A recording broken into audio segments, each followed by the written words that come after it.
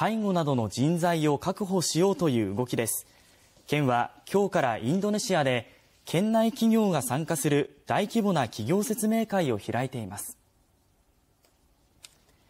この取り組みは県が去年インドネシア政府と交わした人材の受け入れを推進する覚書に基づいて開催されたもので県内の企業46社が参加しています。初日の今日は宮城県内での仕事に興味を持つ現地のインドネシア人およそ750人に対しそれぞれのブースで企業についての説明や面談などが行われました。人材の受け入れを想定する分野の一つ介護業界では特に人手不足が深刻で県は来年度には介護スタッフが4188人足りなくなると試算しています。明日は人材を送り出す現地の機関と県内の企業が採用に向けた協議を行うということです。